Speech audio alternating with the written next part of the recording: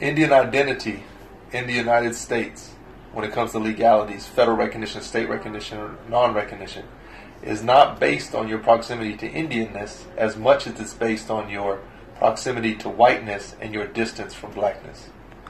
What? Oh my God!